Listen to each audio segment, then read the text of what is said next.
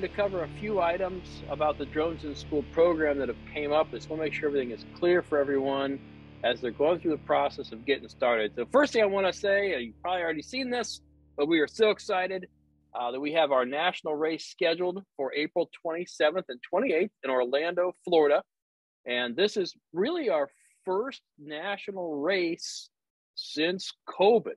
Uh, and so if you think about that, we our first year that we had the competition uh, was 2018-19, and then uh, we had a national race here in Ohio, but it was our first year, so we didn't have that. We had maybe 12 teams, I suppose, that were at our national race. It was our first year as an organization. Now we're four years down the road, so we have our national race. Uh, we're planning to have 32 teams, and the most exciting part is this is going to be at the AUVSI, which, if you're not familiar with that, is the Association for Unmanned Vehicle Systems International, which is really the largest uh, unmanned, unoccupied organization uh, that advocates for for those industries. And they have this huge conference called XPONENTIAL. So I want to show you a little bit about that conference here, a little short video highlight from that conference, what your students can look forward to.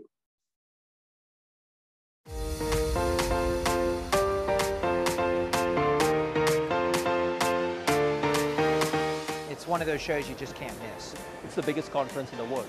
Everybody's here, and that's really good to be here. It is the one-stop shop for this industry. You can see everything, you can learn everything, and you can expose your company and your technology to pretty much anyone who is important and interested in this industry. This is where the rock stars are. Uh, this is where the latest and the greatest come out. This is where unmanned systems and robotics basically come together. And to me, that's real magic. Hey, this is the most exciting place literally on the planet. Like it's amazing. I'm like a little kid in a candy shop when I walk around here. Like each booth is so amazing. You get your technology uh, integrators, you get your subject matter experts, state, local government, federal government all under one roof. Like you've got somebody from the utility industry talking to somebody from the oil and gas industry. They have similar kinds of applications, uh, but they're learning from each other. It's a very, very broad range of things that are going on. You know, it might be air and ground. It might be something that, that we're learning using the maritime domain. It's kind of a smorgasbord of everything. It's like a buffet of, of technology and industry. Everything's here. You can find any type of information about operations, applications, regulations, anything worldwide. Everyone's an enthusiast, and so you can really kind of get the ideas flowing about how we begin to integrate this into our state, reap the benefits, and really enable this technology. We want to expose our technology here to the community and we also want to see what everyone else is doing. Where's the commercialization of this industry headed? I, I love what I'm seeing in terms of uh, the floor this morning. It's pretty clear that there are new vendors here with new innovation. We're trying to get ahead of where the technology is and incorporate that into our investment decision-making process. But I'm seeing new innovation that makes me wonder gee, uh, we are really inventing uh, the future here in many ways. So I, I, think about this in the context of how we invest and got to tell you, it's a pretty high bar. Uh, the, the networking is, is, is tremendous because the conversations that you're going to have here, you're not going to have anywhere else. So far, there's a lot of people that they're their own best kept secrets. AUVSI helps to spotlight that throw everybody out in the forefront so we all know what each other is doing. We get to have some more in-depth conversations and we learn a lot also from our partners while we're here. We brought several of our young engineers along with us on this trip and we've just kind of turned them loose and said, spend the time on the exhibit floor, sit in these sessions, there's so much to learn. I'm constantly amazed about what I saw that very first AUVSI XPONENTIAL that I attended and what is now on display here. This technology evolves every day. And so you really need to come here to stay up with what is happening in the industry. So it's the exposure of your product, the people that you will meet, and the ability to see what else is out there and evolving today.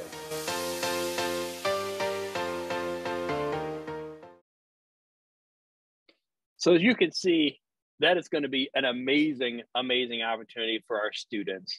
Not only will these 32 teams be able to compete in our uh, first national race since COVID, really our first real national race with 32 teams from around the United States, but they will also be able to be on the show floor and see all the exhibits And AUVSI is really stepping up for us, and they are actually creating STEM programming that the students will actually have sessions that are designed by industry leaders uh, looking at uh, Embry Riddle is going to do some sessions, looking at the Air Force Academy doing some sessions to provide extra learning for your students and opportunities they're not going to get anywhere else on the planet. So we're really excited about this. Um, so how, how do you get to this event is the question I get from people. Well, first of all, we only have room for 32 teams. So uh, that's the first thing you have to know. So if you want to be part of that 32, you have to get an invitation. And to get an invitation, first thing you obviously have to register your team with Drones in School. So if you haven't done that yet, please make sure you go to Robot Events and go to Drones in School, click on register your team, however you have to get there, and register your team.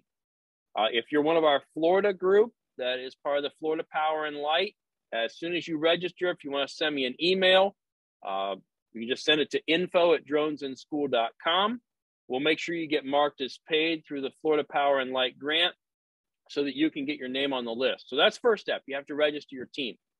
Second of all, you need to participate in at least one of our events because by participating in events, that's how you earn national race points. So the way our race points work is you get points for each event that you enter.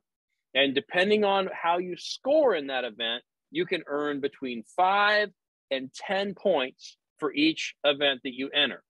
So if you score first place in everything in the event. So you score first place in capture flag, head to head, design engineering, your marketing video, and your portfolio and display. You get two points for each of those first place rankings, which gives you 10 points towards the national race. Okay, and there's a whole scale of points below that. So, you know, 1.8, 1.6, all the way down. The whole thing is laid out on our website if you go to the team standings link under events, you can see that and lists out the points. No matter what you do, just participating, you get five points towards getting that invitation to the national race. And the top 32 teams will get an invitation. We're really hoping to have a breakdown of 16 high school, 16 middle school, but we're really just looking for our best 32 teams to participate. So that's how you get that done. Uh, you do need to participate in by the end of March, because obviously the national race is at the end of April. So we will start sending out invitations for those that have kind of already met the threshold to qualify, um, probably mid March as the March virtual race results start rolling in. And then we'll send out all the final invitations by the end of March. So uh, once you're on the leaderboard, there's a good chance you're going to get an invitation. So I wanted you to kind of be aware of that. So that takes me right into our, our next thing, which is our virtual races. Now, the virtual races, again, they're designed to be set up at your location.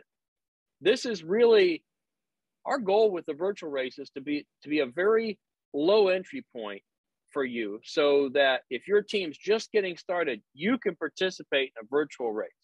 So let's talk a little bit more about that we already had our January race. We had a couple teams jump in on that one. We're hoping to get a lot more teams jump in here on our February and March races as things come back after the holiday break. But when you go to our website, you go to dronesinschool.com, you click on events, you click on virtual races. The current virtual race will always be right there for you with a PDF of how to lay out your track. So you'll see here is a couple screenshots. So this is the February race.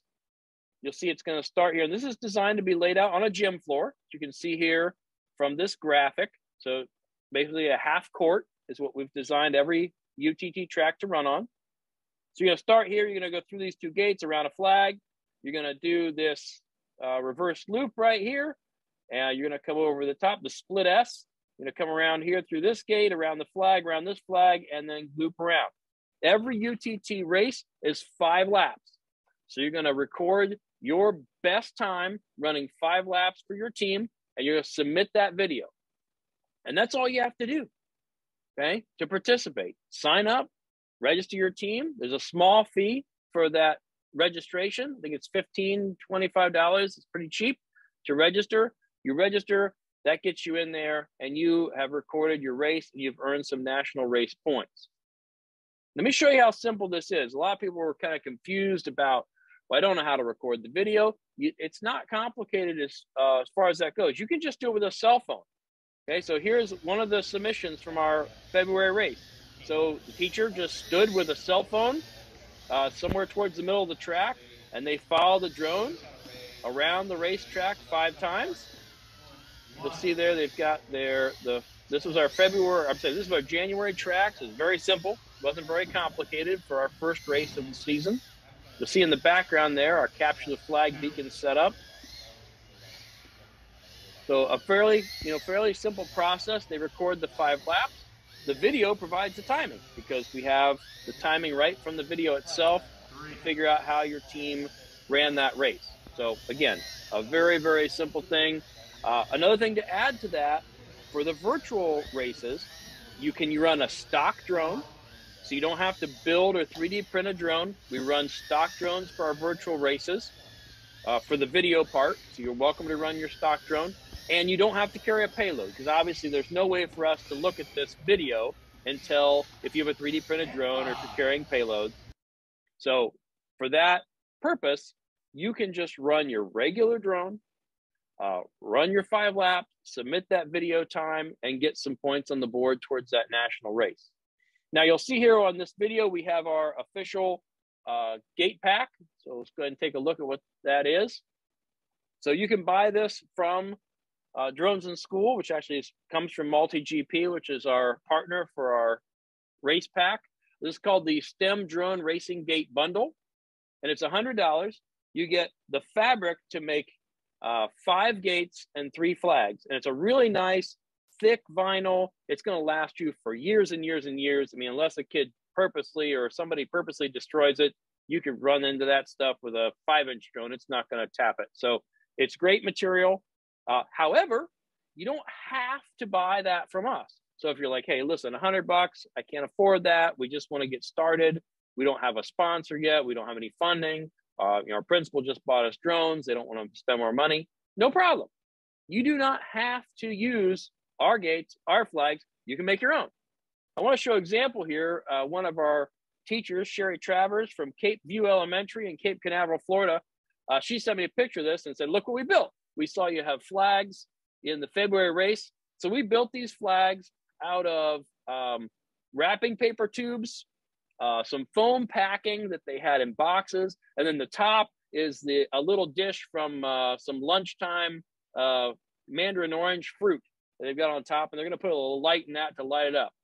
You also see there they used some red and blue uh, plastic folders, and those are their starting pads. So again, this does not have to be a super complicated thing. You can build it yourself as long as you have a, a flag, a post for you fly around, and as long as you have an opening on your gates that's 36 inches wide and 30 inches tall, you can make it out of anything you want. All right. So don't feel like you've got to do some elaborate purchase or or get what our official gates. That's not necessary to compete. Again, we're we're a nonprofit. Obviously, we want this to be sustainable as an organization. But our goal here is to make sure that your team is getting the exposure and getting that experience so that they can make it to that national race because that's where we want to see everybody have success. So I hope that explains a little bit about those UTT and virtual race tracks. I also want to give a shout out here to uh, Mr. Gonzalez at Felix Varela Senior High School. Uh, he down in Miami is our first Florida face to face race, and he's going to have that on President's Day. Uh, it's called the President's Day Drone Dash. So if you're a Florida team and you didn't hear about that yet, make sure you register. Due to the COVID restrictions at his school, he only has capacity for 10 teams. So make sure you get on that early. He's only charging $20 for the participation. He's going to have the full event, uh, all the judging. Really excited to have that in place. You can host events at your location. Obviously, you want to kind of look at our uh, standings and see how many schools are in your area, but you can certainly host an event. Would encourage you to reach out to local schools. Uh, we are operate a lot by word of mouth. Uh, we don't have a lot of money for advertising as a nonprofit, so certainly encourage you to reach out to local schools and say, "Hey, we got this program called Drones in School. Would you like to get involved?" you'll probably find a lot of schools are looking at a competition like this and really haven't figured out how to make it work. So we'd love to help them out. So thanks again, Mr. Gonzalez, for making that work. Last thing I want to cover today with our town hall is I want to kind of talk a little bit about our website and some changes we made. Uh, as we've had some feedback from schools about, hey, we, we just don't know where to find stuff. We had some links going to multi GP, we had some links going to our other retail partner, Ready Made RC. Uh, obviously, there's been supply chain issues and things that have happened over the past year that they've all struggled with. So, to simplify all that for our teams, we've brought all that purchasing for the major components for the Drones in School program in house. Uh, you just purchase it directly from us, and then we work with those vendors to get you what you need. And if they're out, we'll find a secondary vendor to get you what you need in a timely fashion. So, just to share that a little bit, here's our website. Go to Drones in School. Now, under Start here, we have our season guide. We have a link to the curriculum, and then we've got a link right here for our supplies, which takes you to our store. Now, we realize schools operate mainly with purchase orders. Not a problem at all. We take purchase orders. We do it all the time. Not a problem. Our, my treasurer loves it, but he uh, he does it because I ask him nicely. Uh, you just go on, you create your cart. You can look at the actual shipping that's in the cart on our website, or you can just add 10% for shipping and handling, and we will just charge you what the actual shipping and handling is. Then you can email that purchase order to orders at dronesinschool.com. We get that order, we process it. Again, we work with whatever vendor we need to to get you the information. We've also broke up these um, into categories. As you probably know, we have two uh, kind of flight packages or aircraft that we support with our curriculum, one of which being the Emax Tiny Hawk 2, and the other one being our junior racer that we co-developed with uh, CDRA and multi-GP. And then the other category is our race supplies. So if you're like, hey, I want to race, I need to know what I need to buy. I want to buy capture the flag beacons. I want to buy the whole drone racing bundle, or I just want to buy a single gate. Maybe I just want to have one gate so I know what they look like. You don't have to buy the whole hundred dollar package and get all five and the flags. You just buy one if you want. So it's totally up to you. Now keep in mind one thing I always want to mention with our gates, it is just the fabric because uh, it's so expensive to ship the pipe. So you can just buy the pipe from a local uh, vendor. And when you click on the link, you'll see the assembly instructions linked right here. A little PDF shows you how long to cut it, how many pieces you need for each gate and flag that you're creating. I do also want to mention we do have our capture the flag beacons in stock. Uh, we have, have more of them on the way, but those are available. They are $34.99 a piece, already assembled. They're already programmed, all ready to go. They even come with the USB cord. The only thing you have to provide is the little stand to stand them on, which again is just PVC pipe, the same stand that we use for our flags. So no problem there easy to make, easy to uh, to pick those up. You would need 10 of those if you wanted to make a full set to run a race, or if you want to build your own, we do still have the link to 3D print and manufacture your own components. Of course, you have to go get all those pieces and solder them together. Some teams have found it's just easier to just buy them. So we have them available for sale as well. And then back to our supply list. If you're looking for the Junior Racer, we have the Junior Racer kit here. We also are going to be adding some uh, spare batteries for that. We've had some people request that, some pricing on those. And then the Emax Tiny Hawk 2.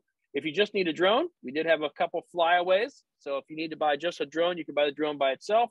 You can buy the spare batteries or you can buy the whole kit. If there's something you're looking for that you would need to purchase a replacement, just send us an email. You can send that email there to that orders at dronesinschool.com and we will try to add that to our cart, get some pricing on it, and get it put up there as quickly as possible.